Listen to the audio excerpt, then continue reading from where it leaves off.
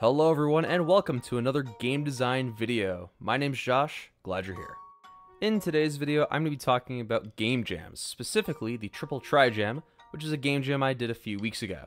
The premise of the Triple Tri Jam is it's a regular game jam, but you only have 9 hours to do it and this has to be done in 3 3-hour chunks. The themes for this Triple Tri Jam were chain reaction, negative feedback loops, and a novel twist on classic games. My approach going into the game jam was that I wanted something that could hit all three themes, and I really focused on that novel twist on, on a classic game theme. The first game that really came to mind, funnily enough, was Flappy Bird, mostly because it was 2D, and given that I'd be working in Unity, I really didn't want to make something relying on Unity's 3D. Not that I wasn't confident I could do something at the time, but just that I felt 3D was going to make things more complicated.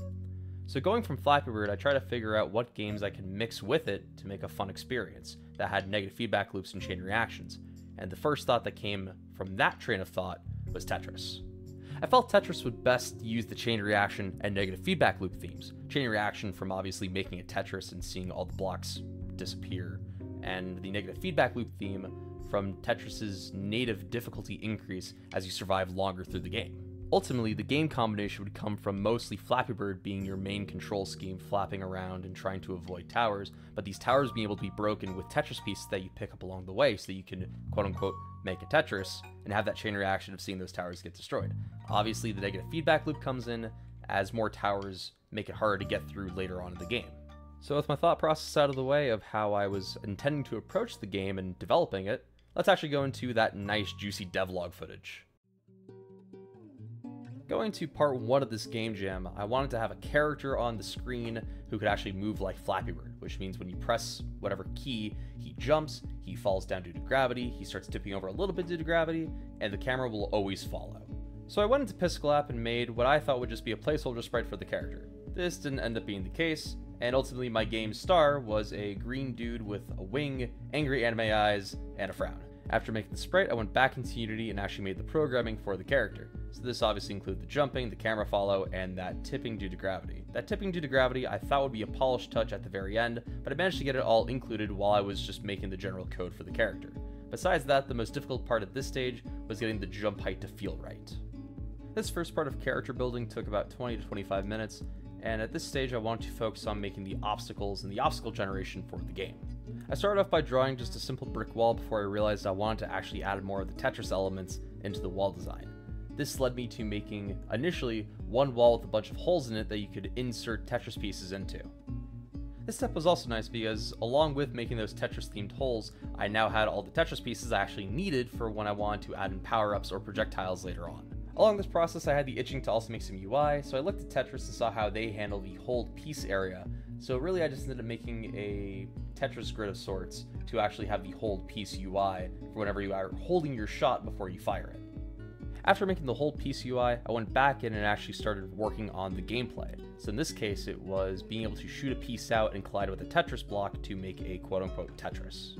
Due to the way Unity handles 2D box colliders when you import sprites, the colliders I was getting weren't actually covering the entirety of the pieces that I wanted. They would just take it as one giant rectangle, when in reality I needed gaps to account for those Tetris pieces that I wanted to shoot into the blocks. This led to a decent amount of time spent needing to customize those 2D box colliders and even add more colliders onto them so I'd have the hitboxes that I needed. Ultimately, this first chunk of the game jam ended on a positive note with having the obstacle generation in, but also on a bad note because I was running into a lot of collision issues with the projectiles and the actual Tetris blocks themselves. By the second chunk of the game jam, I had a lot of things done, but there was still a lot of things to do. I had obstacle generation in place and I had the player movement and controller all figured out. However, I was still running into bugs with projectiles not actually destroying the obstacles.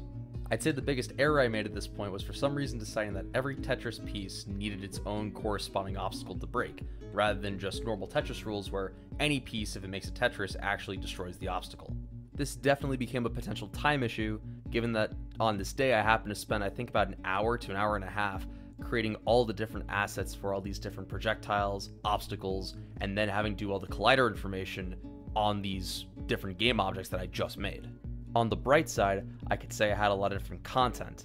On the other side, I probably could have used that time better and not have spent so much time on these very specific objects. A nice consolation though is that since all the projectiles and all the actual obstacles basically use the same code, it is really just a case of testing all of them to make sure they could collide properly with their respective objects. I did run into some issues here since I was already running into collision issues earlier, but that seemed to all sort itself out to some extent by the end of the day. By the end of the second chunk of the game jam, I also had object pooling in for all these different obstacles, and I also had all the projectiles able to be picked up in game and used for the player.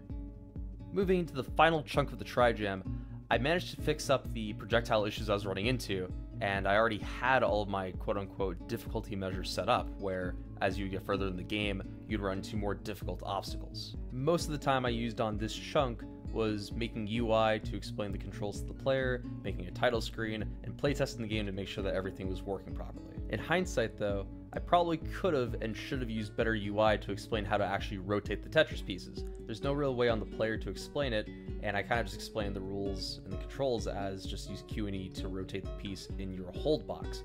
However, there's nothing there that really explains, oh, when you shoot out the piece, it'll be rotated in the same orientation. In the final hour or so of my work, I decided to add in a few other little touches. I added an icon so that if you were to download the game off of itch, it would actually show up with that icon on your Windows machine. And I also added in a button on the title screen that redirects to my Twitter. The last part of the game that was definitely rushed, and honestly, if I was going to go back and redo this, I just would have skipped it altogether and just kept the default Unity solid color skybox, was me trying to get a background working in a very, very limited amount of time that I was not confident in my abilities to actually implement. I was trying to go through a bunch of different methods in about 15 minutes to actually have a backdrop that isn't just the default Unity skybox. So I tried it, it looked like it worked. I went back through it, some things were still a little bit wrong, but I said I just want to have a nice little backdrop to this. And I ultimately got it in, but I think that actually ended up causing some problems in the final build. So let that be a lesson to you kids. If you only have 15 minutes left in your game jam, don't try to rush adding content in, just submit the thing. So looking back on my performance in the Triple Tri-Jam, how do I think I did? I didn't do great, but I don't think I did awful either. In terms of what I didn't do so great on, visuals, I'm not the greatest pixel artist. Audio, not even in the game entirely, and that's because I wasn't even really thinking about audio going through the whole game making process. I was just really focused and kind of tunnel visioned solely on the gameplay. I do think I could have used my time a little better, especially with that whole, oh, all the Tetris pieces need their own colored blocks. Hindsight, that was really stupid, and I really should have used that time on other areas like making the game better or adding in better effects.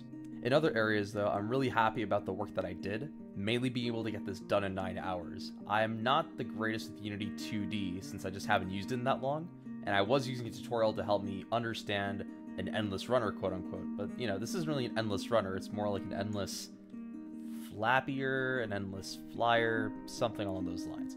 But I'm glad I was able to not solely use everything from that tutorial and actually modify a lot of it to suit what I needed, like with the obstacle generation, the pickup generation, etc.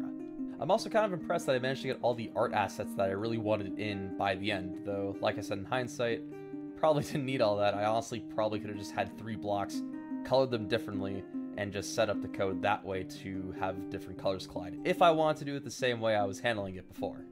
Though talking about it like this, it does make me want to try doing something like a procedural Tetris chunk generator, now that I'm actually talking it through.